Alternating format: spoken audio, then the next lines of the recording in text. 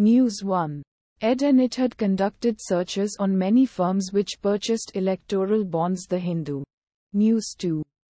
Will closely monitor implementation. US on India's new citizenship law CAA and.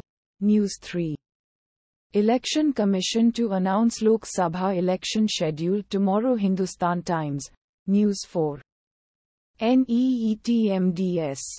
Supreme Court refuses to postpone NEET MDS 2024 exam. Center says internship cutoff date. Live Law Indian Legal News. News 5. OMCS slip 4-6 pratishat on 2 rupees fuel price cut. Find out the latest brokerage views the Financial Express. News 6. Electoral bonds.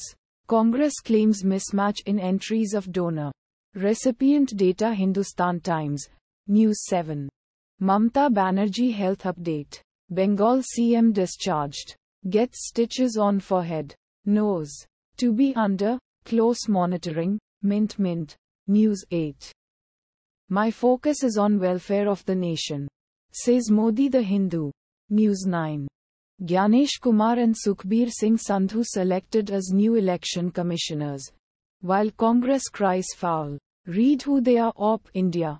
News 10. Curtailment of assemblies, tenure. Common electoral roll. Kovind panel's plan for simultaneous polls the print. Automatically generated.